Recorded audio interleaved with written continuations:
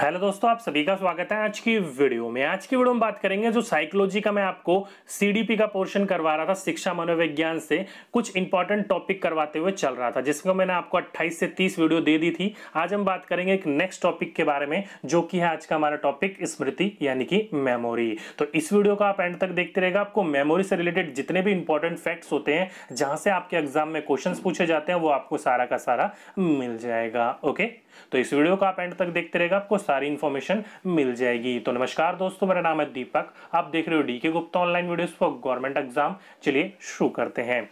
तो आज का हमारा टॉपिक क्या है? तो आज का हमारा टॉपिक है स्मृति, यानी कि मेमोरी आप लिख सकते हो। अब ये मेमोरी यानी कि स्मृति होती क्या है? तो सरल शाब्दिक शब्द में बात करी जाए तो जो कुछ भी व्यक्ति देखता है, सुनता है, समझता है, उसका जो चिन्ह मस्तिष्क में बनाता है, उसी चिन्ह के द्वारा जो आप याद करते हो, उसी को क्या कहा जाता है? स्मृति कहा जाता है।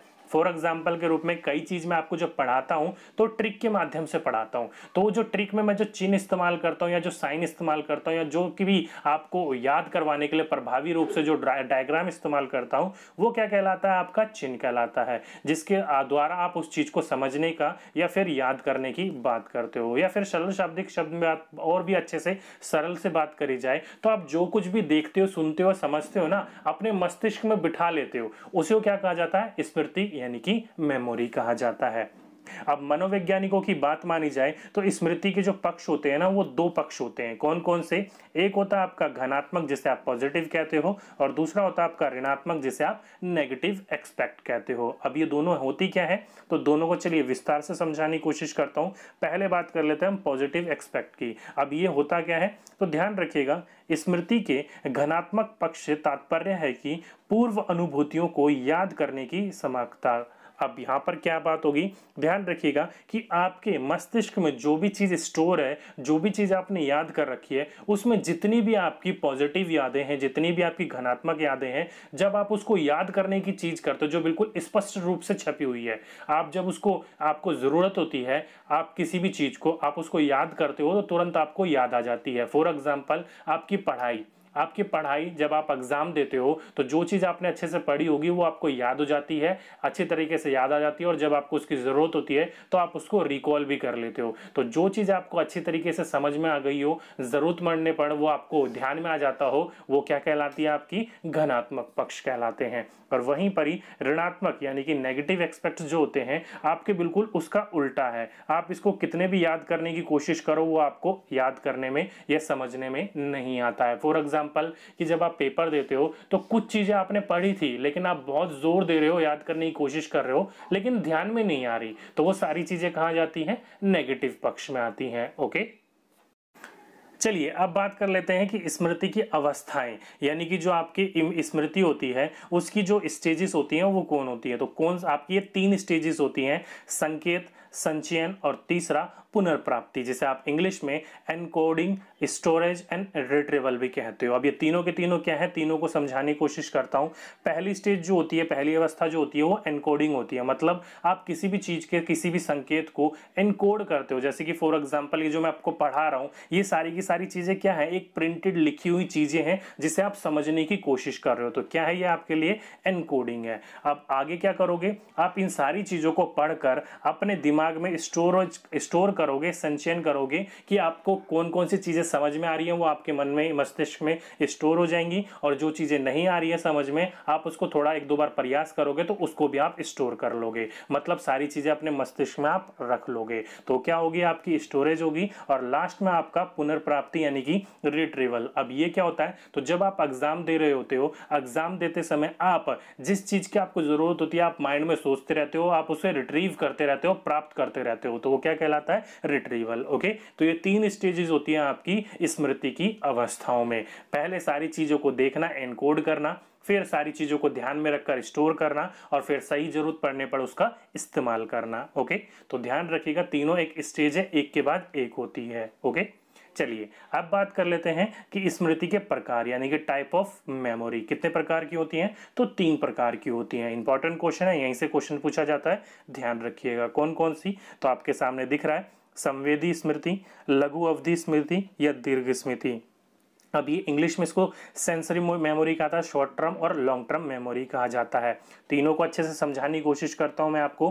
पहले हम बात कर लेते हैं संवेदी स्मृति, यानी कि सेंसरी मेमोरी अब ये होता क्या है? तो ध्यान रखिएगा कि व्यक्ति के अंदर जो भी आप किसी भी चीज़ को याद करके ध्यान रखने की कोशिश करते हो, जो केवल एक सेकेंड या फिर उससे भी कम समय के लिए आपको याद रहता है, वो आपकी मेमोरी की कौन सी मेमोरी कहलाती है? वो संवेदी स्मृति, यानी कि आपकी सेंस सेंसरी मेमोरी कहलाती है। ध्यान रखिएगा, इसके अंदर जो भी सूचनाएँ होती हैं, जो भी आपकी चीज़ें होती हैं, वो एक या एक सेकंड से भी कम समय के लिए आपके अंदर स्टोर रहती है ओके उसको कहते हैं हम सेंसरी मेमोरी दूसरा लघु अवधि स्मृति यानी कि शॉर्ट टर्म मेमोरी इसके अंदर जो भी व्यक्ति ध्यान रखने की कोशिश करता है, जो भी चीज़ समझता है, वो व्यक्ति के अंदर 30 सेकंड या फिर 30 सेकंड से कम समय तक चलती है। उसको क्या कहा जाता है? लघु अवधि स्मृति। यानी कि जो भी चीज़ आप समझने की कोशिश कर रहे हो, जो भी चीज़ आप पढ़ रहे हो, जो भी चीज़ आप ध्यान में कोशिश कर रहे हो, वो आपके अंदर तीस सेकेंड या तीस सेकेंड से भी कम के लिए होता है। फॉर एग्ज़ाम्पल कई आपके ऐसे मोबाइल नंबर होंगे जो पहले जमाने में आप आराम से याद कर लेते थे, क्योंकि मोबाइल में फीचर नहीं था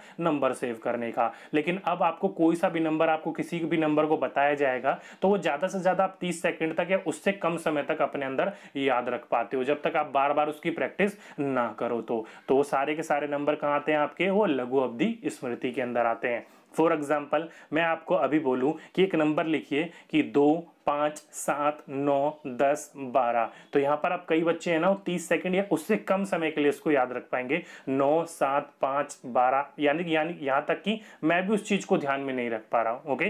तो तीस सेकेंड या तीस सेकेंड से कम जो चीज़ें होती हैं, वो लघु अवधि स्मृति के अंदर आती हैं, ओके? और लास्ट आ जाता है आपका दीर्घ स्मृति, यानी कि लॉन्ग टर्म मेमोरी और यही सबसे ज़्यादा इंपॉर्टेंट है। अब ये होता क्या है? तो लॉन्ग टर्म मेमोरी आपकी वो मेमोरी होती है, जिसमें आपकी जो सूचनाएँ है ना, वो तीस सेकेंड या फिर इससे अधिक समय के लिए। अब अधिक कितना? तो कोई भी उसकी समय सीमा नहीं है। कितने भी समय सीमा के लिए आपके अंदर स्टोर यानी कि सेव रह सकती है। फॉर एग्ज़ाम्पल आपका मोबाइल नंबर कभी भूल सकते हो। आपका जो पिछला नंबर मोबाइल नंबर आपने चेंज करा होगा ना, वो भी आपको ध्यान होगा। जैसे कि मेरे घर का जो लैंडलाइन था सबसे पहला, वो मुझे नंबर आज तक याद है, भले लैंडलाइन वो बंद हो गया है। आज से कम से कम नहीं तो करीब करीब बारह तेरह साल पुरानी बात होगी, मुझे ध्यान भी नहीं है कितनी साल पुरानी बात है। तो पहला लैंडलाइन नंबर मुझे आज भी याद है। क्यों? क्योंकि अच्छी तरीके से हमने याद कर रखा उसको। तो ये आपके अंदर यहाँ पर वो सारी चीज़ें आती हैं जो आपको तीस सेकंड से ज़्यादा या फिर कितने भी समय तक, कोई समय सीमा नहीं आती है, वो आपकी सारी की सारी मेमोरी किसके अंदर आती है? लॉन्ग टर्म मेमोरी यानी कि दीर्घ स्मृति के अंदर आती है। ओके तो ये थी आपके मेमोरी के तीन भाग, संवेदी स्मृति, लघु अवधि स्मृति और दीर्घ स्मृति। अब ये जो दीर्घ स्मृति है, इसके कुछ पार्ट्स भी है और यहीं से क्वेश्चन आपके बहुत पूछे जाते हैं। तो जैसे कि मैंने आपको बोला, स्मृति के तीन प्रकार है। तो दीर्घ स्मृति यानी कि जो आपके लॉन्ग टर्म मेमोरी होते हैं, उसके दो पार्ट्स है। पहला, प्रासंगिक स्मृति, जिसे आप एपिसोडिक मेमोरी कहते हो, और दूसरा, अर्थगत स्मृति, जिसे आप सबमेटिक स्मृति यानी कि मेमोरी कहते हो। अब ये दोनों की दोनों क्या है? दोनों को अच्छे से समझाने की कोशिश करता हूँ मैं आपको। तो पहला है हमारा एपिसोडिक मेमोरी जिसे प्रासंगिक स्मृति कहते हैं। अब इस स्मृति के अंदर आपकी वो सारी चीज़ें आती हैं जो कि आपके निजी जीवन से संबंधित होती है ना वो सारी घटनाएँ आपको यहाँ पर याद रहती हैं। फॉर एग्ज़ाम्पल आपके बचपन के दिन कहाँ बीते थे? फॉर एग्ज़ाम्पल कि आपने बोला कि मेरे बचपन के दिन जम्मू कश्मीर में बीते थे, या फिर मैं आपके पाँच साल पहले आप कहाँ गए थे, किस प्रकार की घटना हुई थी तो आपके जीवन से संबंधित जितनी भी घटनाएँ होती है ना, वो सारी की सारी एपिसोडिक मेमोरी यानी कि प्रासंगिक स्मृति कहलाती है ओके और वहीं पर ही अर्थगत स्मृति, यानी कि जो आपका सेमेटिव स्मृति होता है, वो आपके कौन से होते हैं? तो सिमेटिव स्मृति आपके वो स्मृति होते हैं जिसमें आपकी ज्ञान, सूचना संबंधित आपकी स्मृति होती है ना, वो वाली। जैसे कि C A T cat cat का अर्थ क्या होता है? बिल्ली। जैसे कि दो जमा दो, क्या होता है? चार। तो इस प्रकार की जो स्मृति होती है, जो ज्ञान, सूचनाओं से संबंधित होती है, वो आपकी स्मृति, अर्थगत स्मृति में आती है। ओके? दोनों चीज़ों को ध्यान रखिएगा। निजी जीवन से घटनाएँ जो संबंधित होती है और प्रासंगिक की स्मृति होती है और जो आपके ज्ञान सूचना से संबंधित होती है, वो अर्थगत स्मृति के अंदर आती है। अब यहाँ से एपिसोडिक जो मेमोरी है, यहीं से क्वेश्चन पूछे जाते हैं कि आपके निजी जीवन से संबंधित जो घटनाएँ होती हैं, वो किसके अंतर्गत आता है? तो वो आता है आपका प्रासंगिक स्मृति, यानी कि एपिसोडिक मेमोरी के अंदर ओके तो ये था आज का पूरा का पूरा आपका टॉपिक मेमोरी स्मृति से। अब यहाँ से जो इंपॉर्टेंट क्वेश्चन पूछे जाते हैं ना, वो मैं आपको नेक्स्ट वीडियो में करवाऊँगा, क्योंकि इसके जो क्वेश्चन है, वो बहुत कम पूछे जाते हैं तो ढूँढने में मुझे टाइम लग रहा है, वो क्वेश्चन के स्लाइड्स आपकी बन नहीं पाई है। प्रीवियस ईयर में अब तक कितने पूछे गए हैं? वो पूरा का पूरा इंपॉर्टेंट जितने भी क्वेश्चन मिल जाएँगे, दस, बारह, बीस, बाईस, पच्चीस, तीस, वो सारे के सारे मैं आपको यहाँ पर करवा दूँगा नेक्स्ट वीडियो में ओके अब तक मुझे केवल आठ से नौ क्वेश्चन ही मिले हैं, इसलिए मैंने वो क्वेश्चनों को डाला नहीं है, ओके? तो ये था आज का हमारा पूरा का पूरा चैप्टर मेमोरी यानी कि स्मृति से किस प्रकार का थियोटिकल पोर्शन आता है। तो दोस्तों, आज की वीडियो में बस इतना ही। अगर वीडियो अच्छी लगी हो तो नीचे जाकर वीडियो को लाइक करना ना भूलिएगा और अपने दोस्तों के साथ शेयर करना ना भूलिएगा। अगर वीडियो से रिलेटेड किसी भी प्रकार का कोई डाउट हो, या किसी भी प्रकार का कोई क्वेरी हो, या इससे पहले जो भी आपको वीडियोज़ देखनी हो अगर आपने मिस कर रखी है तो कमेंट बॉक्स में मैंने आपको पहला कमेंट दे रखा है उस सभी वीडियोस का लिंक डायरेक्टली आप वहाँ पर जाकर उन वीडियोस को देख सकते हो ओके और अगर आपने चैनल को अब तक सब्सक्राइब नहीं कर रखा तो जल्दी से सब्सक्राइब कर लीजिए और उसके साथ में जो बेल आइकन होगा, उसको भी दबा दीजिएगा ताकि आने वाली वीडियोस का नोटिफिकेशन आपको टाइम टू टाइम मिलती रहे। तो दोस्तों, आज की वीडियो में बस इतना ही। आपसे फिर मुलाकात होगी नेक्स्ट वीडियो में। जब तक के लिए जय हिंद, जय भारत।